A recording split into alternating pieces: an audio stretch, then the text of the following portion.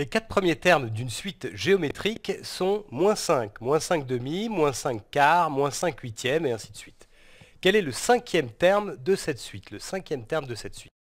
Alors je te rappelle qu'une suite géométrique, c'est une suite de nombres dans, dans laquelle chaque nombre est obtenu à partir du précédent en multipliant par un nombre constant qui est toujours le même et qu'on appelle la raison de la suite.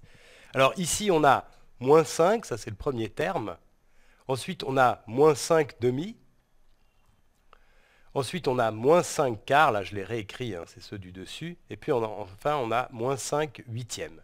Alors, on peut essayer de déterminer à partir de ces, de ces termes-là qui nous sont donnés, on va essayer de déterminer la raison de la suite.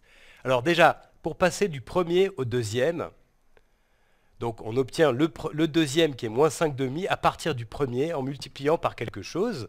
Et là, on passe de moins 5 à moins 5 demi. Donc ce qu'on a fait, c'est en fait diviser par 2. Ou alors, si on préfère, multiplier par 1 demi. Voilà. Moins 5 fois 1 demi, ça fait moins 5 demi. Donc effectivement, pour passer du premier au deuxième terme, on multiplie par 1 demi. Alors on va regarder si ça marche aussi pour le passage du deuxième au troisième terme. Donc ici, quand on passe de moins 5 demi à moins 5 quarts, en fait, on a aussi multiplié par 1 demi. Alors si tu n'es pas convaincu de ça, on peut le faire à côté.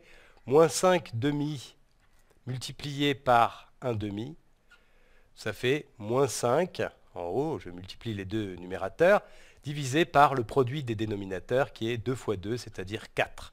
Donc effectivement, quand on part du deuxième terme et qu'on multiplie par 1 demi, on obtient moins 5 quarts qui effectivement est le troisième terme de la, suite. Donc pour l'instant ça marche, il faut contrôler le dernier terme. Alors, on passe de moins 5 quarts à moins 5 huitièmes, et là aussi, en fait, on multiplie par 1 demi. Ça, on peut le vérifier aussi. Hein. Moins 5 quarts multiplié par 1 demi, eh bien, ça fait moins 5 fois 1, c'est-à-dire moins 5, divisé par 4 fois 2, c'est-à-dire 8. Donc, effectivement, à partir de, ces quatre premiers termes, on peut voir que la suite géométrique, c'est une suite de raisons 1 demi. Ce qui veut dire que le prochain terme, le terme du coup de rang 5, le cinquième terme de la suite, on va l'obtenir à partir du terme de rang 4, le quatrième terme, en multipliant par 1 demi. Donc on va obtenir ici moins 5 huitièmes multiplié par 1 demi, ce qui fait moins 5 seizièmes.